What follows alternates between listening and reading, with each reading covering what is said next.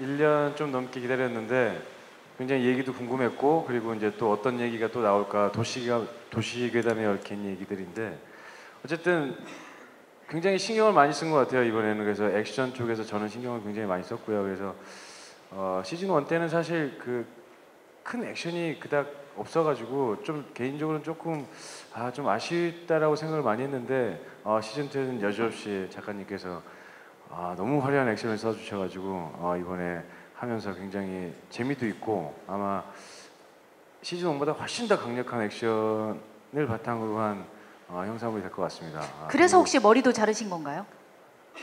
그래서 그런 건 아닌데 아, 아, 마침. 네.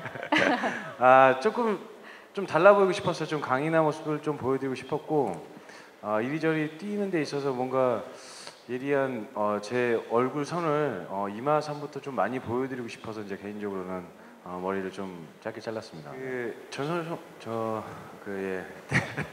아, 네. 전설성 씨 같은 경우는 아, 지방령이 풀린 이후로 어, 너무 귀찮아가지고요.